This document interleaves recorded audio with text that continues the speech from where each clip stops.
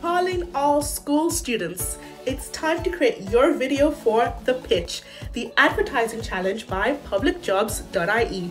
Here are some tips to help you out when making your video. Tip number one is to get organized. Make sure your phone is fully charged and that your lens is clean. Tip number two is to relax. Remember, the camera is your friend. You can do as many takes as you want. Tip number three is to keep your phone steady.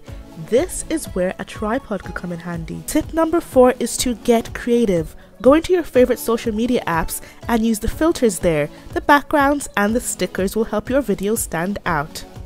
Tip number five is to have fun. Remember, you're making something new, so enjoy the process.